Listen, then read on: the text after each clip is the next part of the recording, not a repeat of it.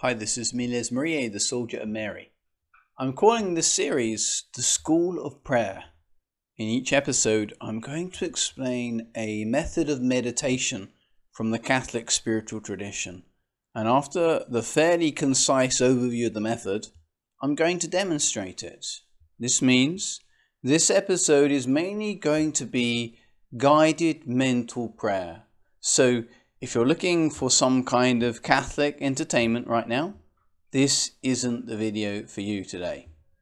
I'm going to teach you about prayer and then lead you in guided mental prayer so that you'll then be in a position to use this method of praying in your daily holy hour or however long you set aside for meditative prayer. Today, I'm looking at discursive meditation. Now, this method is associated with St. Alphonsus de Liguori, St. Francis de Sales, St. John Eudes, St. Josemaria Escriva. Many, many spiritual writers use this method.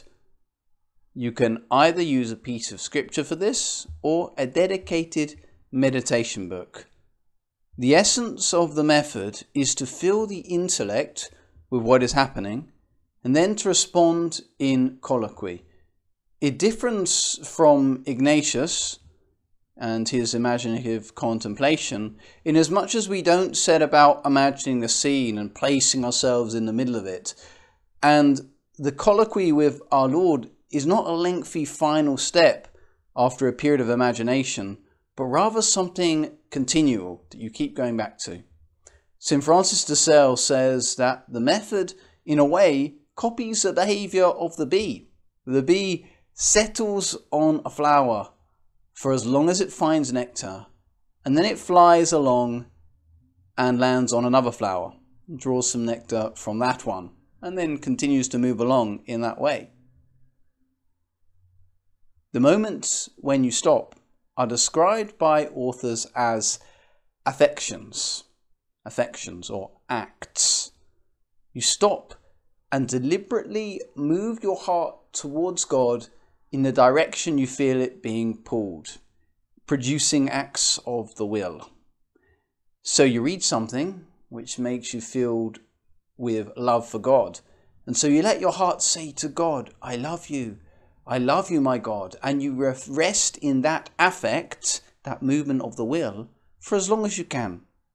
Or maybe you read something that fills you with gratitude, and then you respond with short affections of gratitude to God.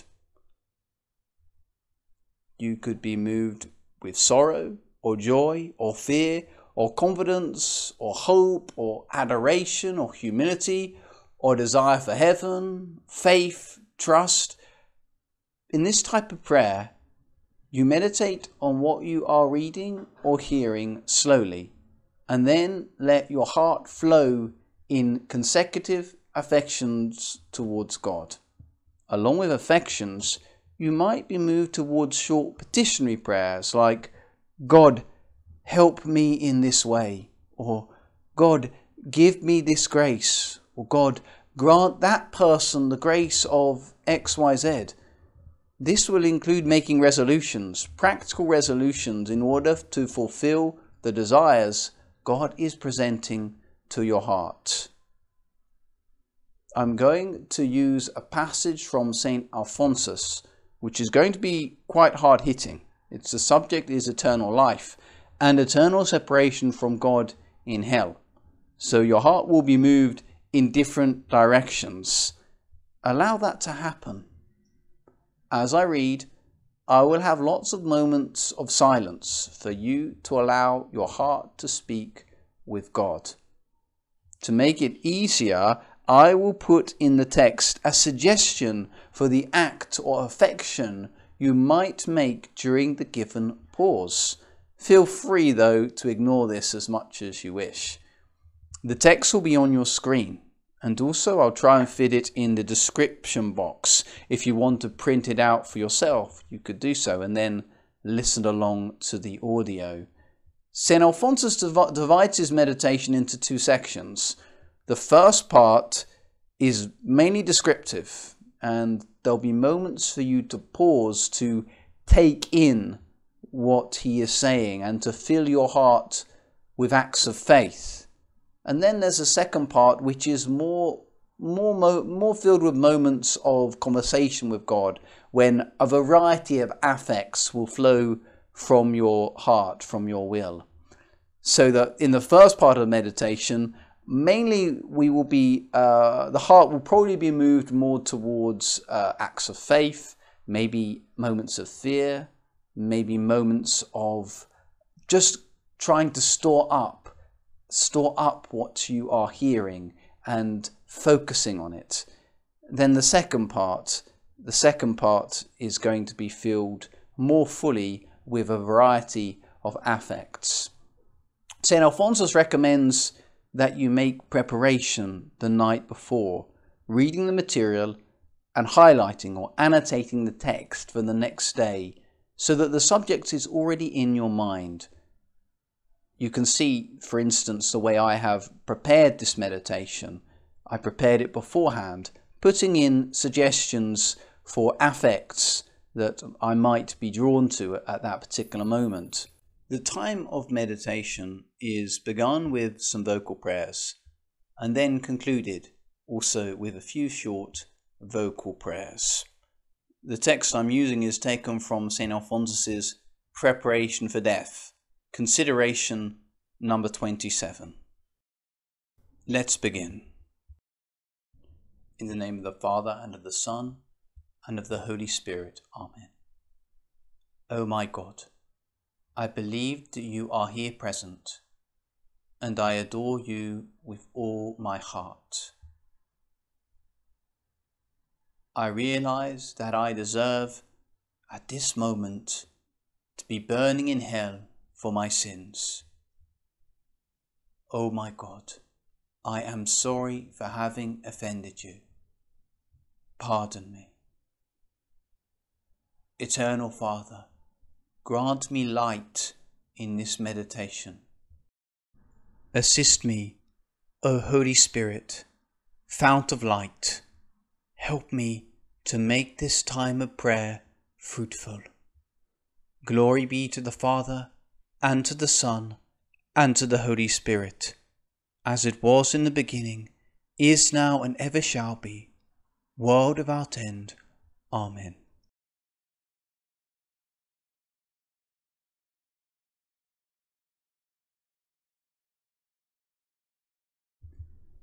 In this life, Death is greatly feared by sinners.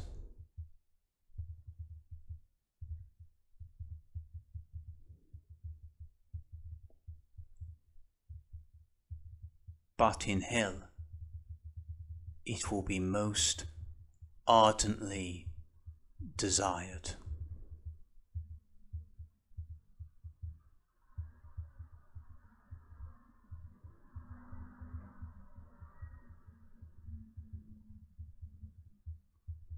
We read in Apocalypse chapter 7, verse 6 Men shall seek death and shall not find it, and they shall desire to die, and death shall fly from them.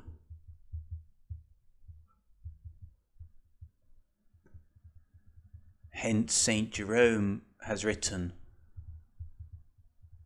O death, how sweet should you be to those to whom you have been so full of bitterness.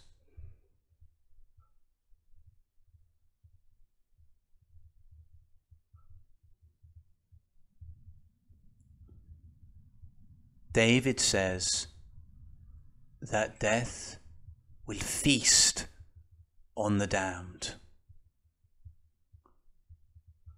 Psalm 48, verse 1 reads Death shall feed upon them.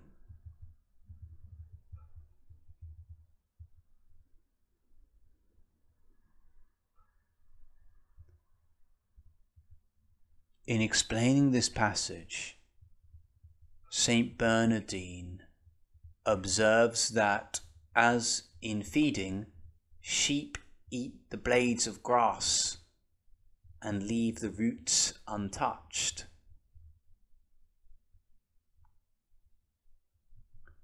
So death feeds on the damned.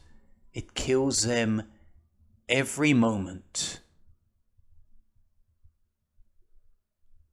but leaves them life in order to continue to kill them by pains for all eternity. Thus, according to St. Gregory, the damned die every moment without ever dying, delivered up to avenging flames. They will die always.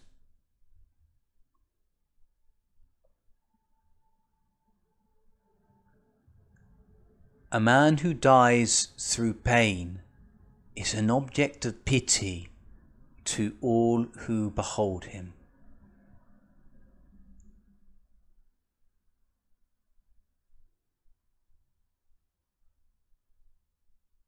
Perhaps the damned too experience commiseration from others. None. They die every moment and have not and never will have anyone to take compassion on them.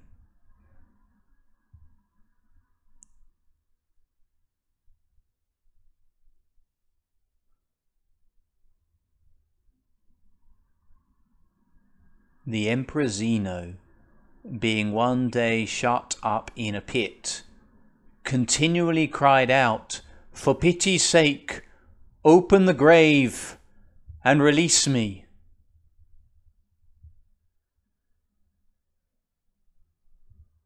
But no one heard him, and he was found dead after having eaten the flesh off his arms.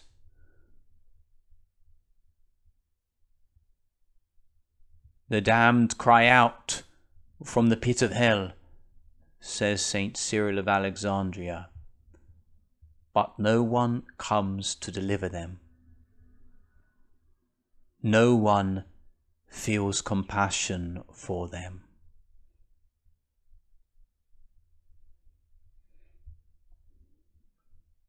And for how long will this their misery last? Forever. Forever. In the spiritual exercises of Father Paul Segneri, it is related that in Rome, a devil in the body of a man possessed, being asked how long he would remain in hell, began to beat his hand against a chair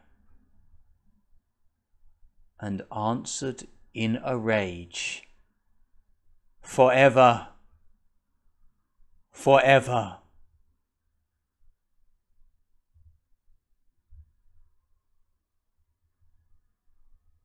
at hearing this great sermon of two words forever, forever.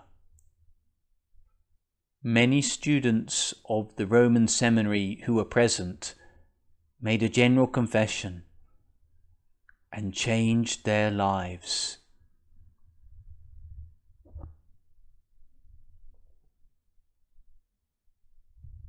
Poor Judas. He has spent more than 1800 years in hell. And his hell is still at its commencement.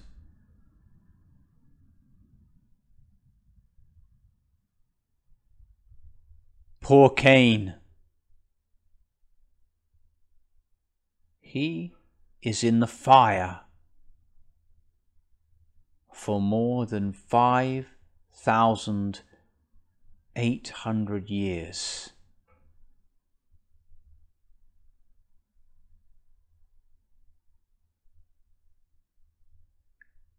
and his hell is at its beginning.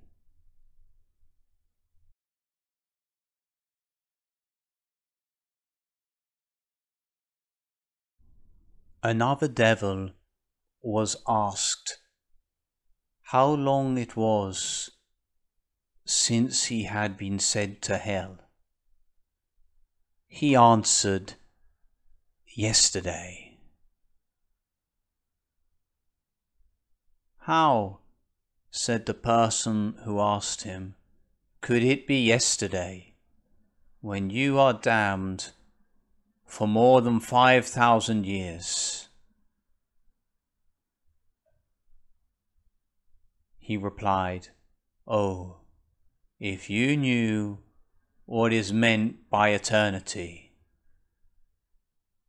you would easily conceive how a thousand years compared with it are but a moment.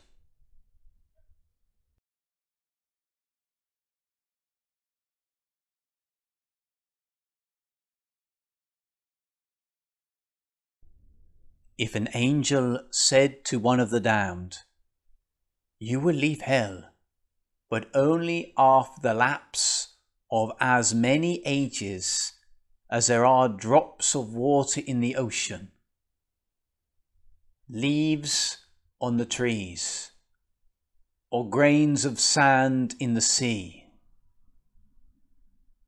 he would feel greater joy than a beggar would at hearing of his elevation to a throne.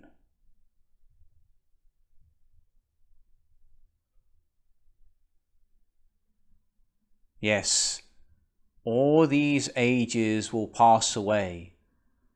They will be multiplied an infinite number of times, and hell will be at its commencement.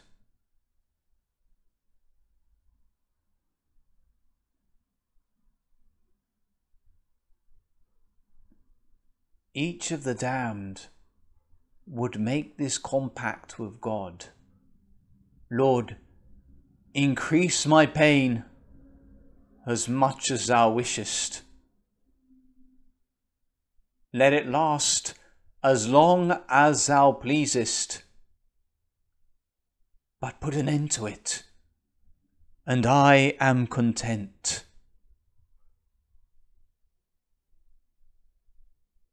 But this end will never take place.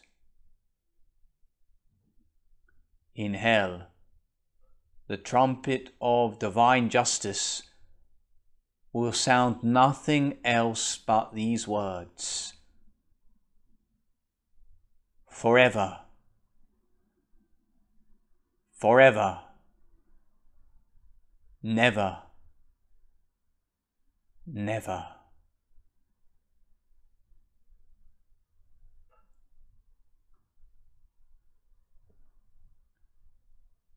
The damned will ask the devils, in the words of Isaiah chapter 21, verse 11 Watchmen, what is the hour of the night? When will it end? When will these trumpets, these shrieks, the stench, these flames, these torments cease. Their answer is never, never. And how long will they last? Forever. Forever.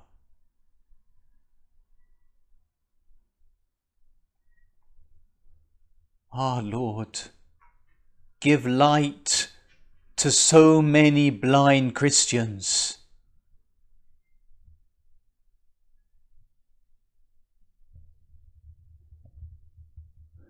Who, when entreated not to damn themselves, say, If I go to hell, I will simply have to be patient and bear with it. Oh God, they have not patience to bear the least cold, to remain in an overheated room, or submit to a slap on the cheek. And how can they have patience to remain in a sea of fire, trampled by the devils, and abandoned by God and by all, for all eternity?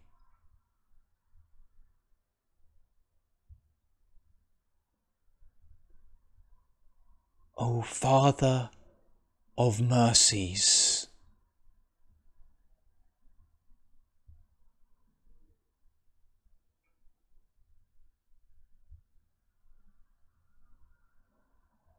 Thou dost not abandon him who seeks thee.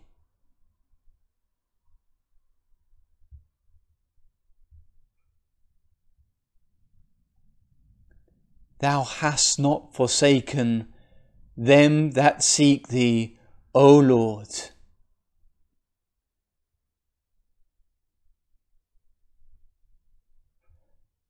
I have up till now turn my back upon thee so often.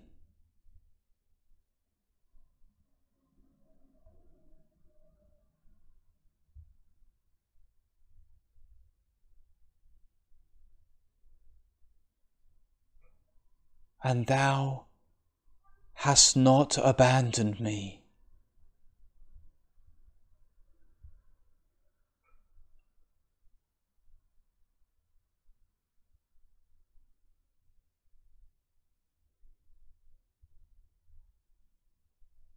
Do not abandon me now that I seek thee.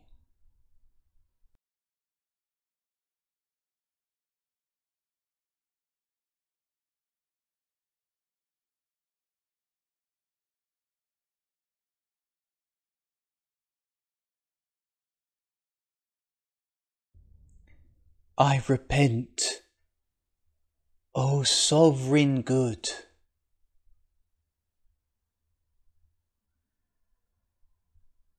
Of having made so little account of thy grace.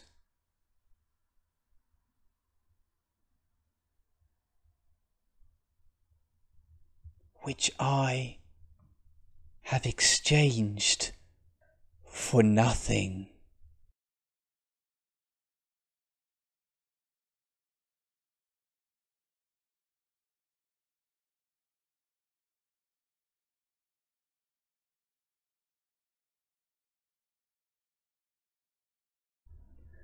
Look at the wounds of thy Son.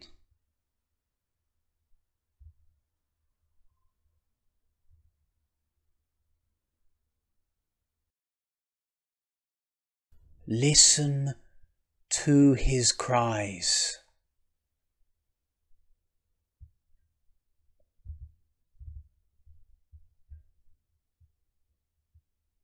Which implore thee to pardon me and grant me pardon.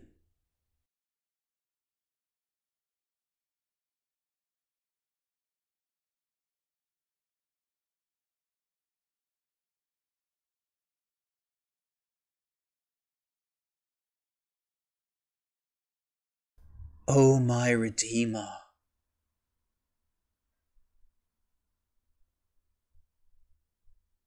remind me always of the pains thou hast suffered for me.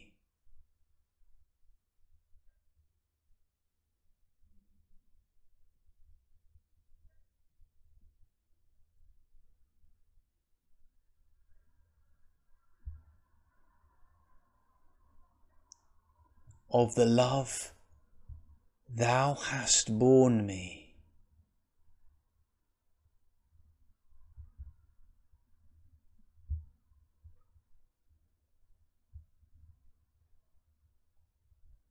And of my ingratitude,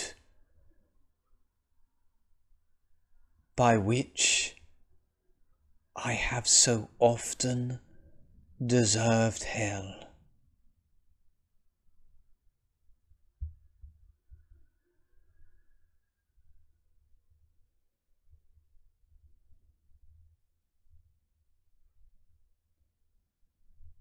That I may always bewail the injury I have done thee.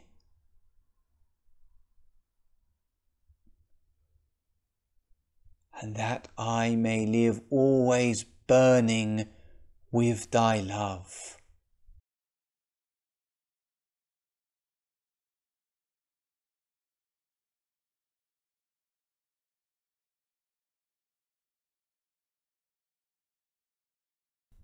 Ah, my Jesus, how can I but burn with thy love when I reflect that for so many years I ought to burn in hell and continue to burn in it for all eternity?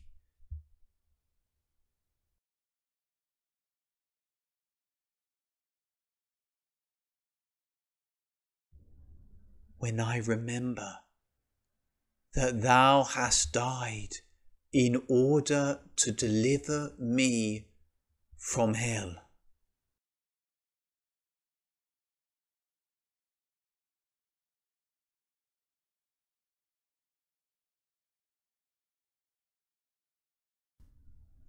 And that thou hast with so much mercy rescued me from that land of misery.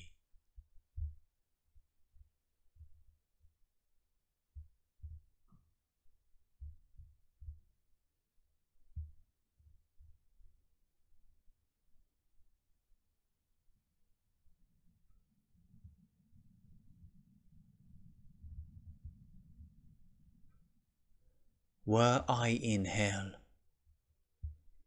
I should now hate thee there, and should have to hate thee for ever. But now I love thee, and will love thee for ever.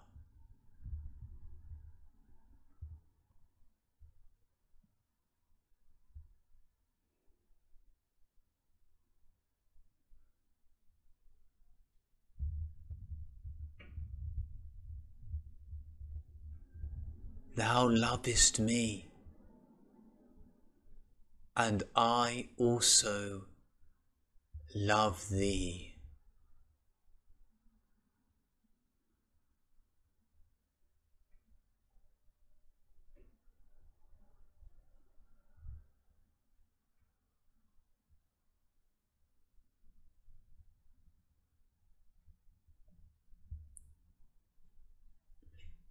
Thou wilt love me forever unless I forsake thee.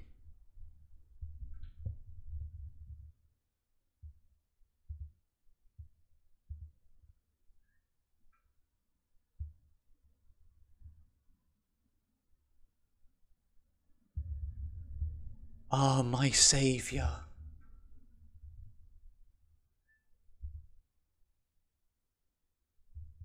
Save me from the misfortune of ever leaving thee.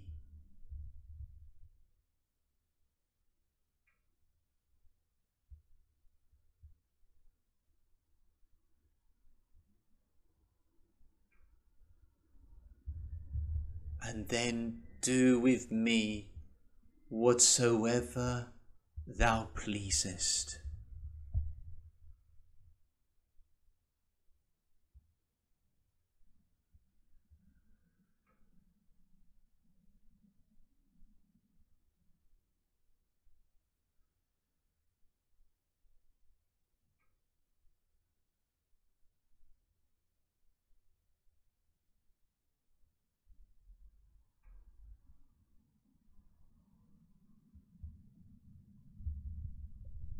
I merit every punishment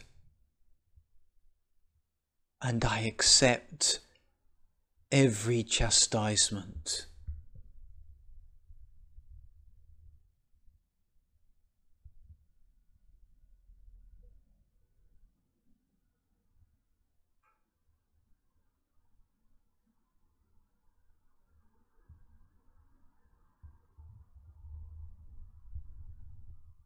I do so, that thou mayst deliver me from the punishment of being deprived of thy love.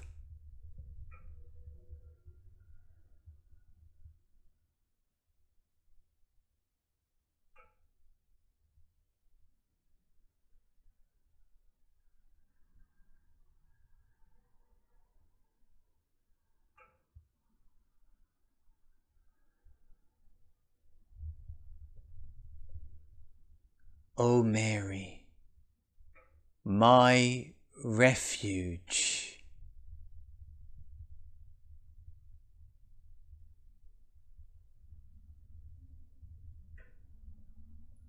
How often have I condemned myself to hell,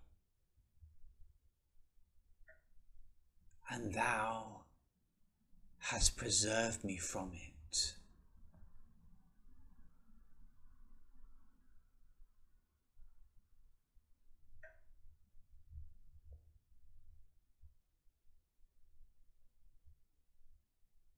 Thank you.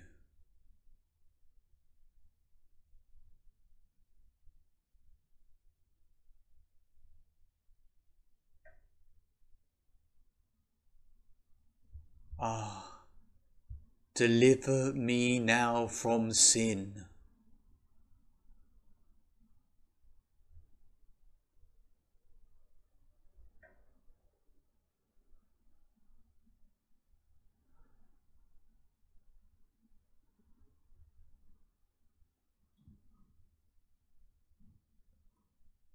Which alone can deprive me of the grace of God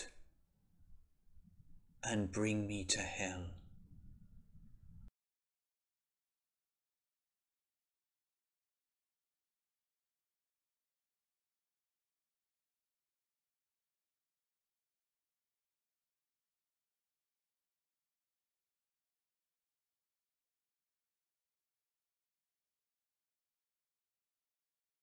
I thank you, Lord, for the many inspirations you have granted to me in this time of prayer. I am determined to carry out the resolutions I have made. Help me, God for the love of Jesus and Mary to carry out these resolutions. Our Father, who art in heaven, hallowed be thy name. Thy kingdom come, thy will be done on earth as it is in heaven. Give us this day our daily bread, and forgive us our trespasses, as we forgive those who trespass against us and lead us not into temptation, but deliver us from evil. Amen. Hail Mary, full of grace, the Lord is with thee. Blessed art thou among women, and blessed is the fruit of thy womb, Jesus. Holy Mary, Mother of God, pray for us sinners now and at the hour of our death. Amen.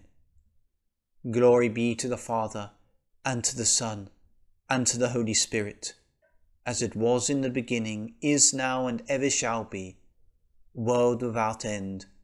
Amen. In the name of the Father, and of the Son, and of the Holy Spirit. Amen.